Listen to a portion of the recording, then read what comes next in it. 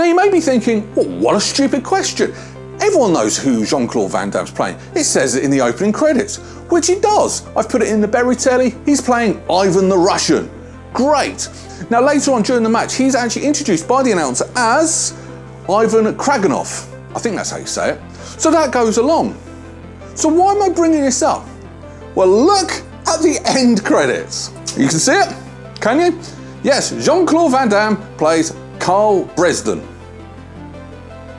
Say what? I'm not making it up. If anyone has a copy of this film, put it on, go and look at the end credits, because Jean-Claude Van Damme is credited as a completely different character. no, did anyone ever notice this one? I did, because that, but then again, I'm a nitpicking a-hole.